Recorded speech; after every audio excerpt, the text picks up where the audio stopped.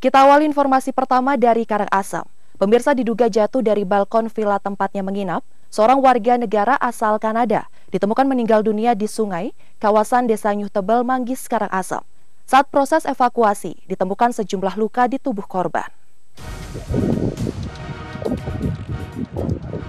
Tubuh Bukom Gaston, warga negara asal Kanada ini ditemukan telah dalam kondisi meninggal dunia dengan posisi duduk terendam di sungai kawasan desa Nyuh Tebel Manggis, Karangasem.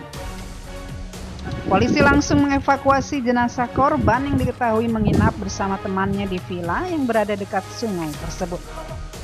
Dari pemeriksaan luar di tubuh bule usia 70 tahun ini ditemukan sejumlah luka termasuk luka memar di wajah bagian kanan serta diduga mengalami patah paha kanan.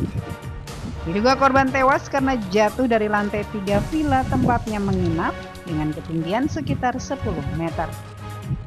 Kemudian memar dan bengkak pada mata kanan, luka lecet pada tangan kiri berdiameter 1,5 cm, luka terbuka di betis kemudian memar pada perut, memar pada paha kanan, dan teraba patah tulang pada paha kanan.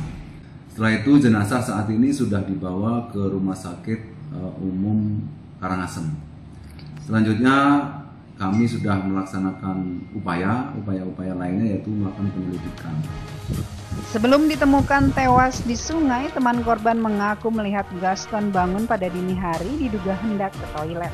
Namun ia tak menemukan keberadaan korban di pagi harinya hingga melaporkan ke pegawai villa.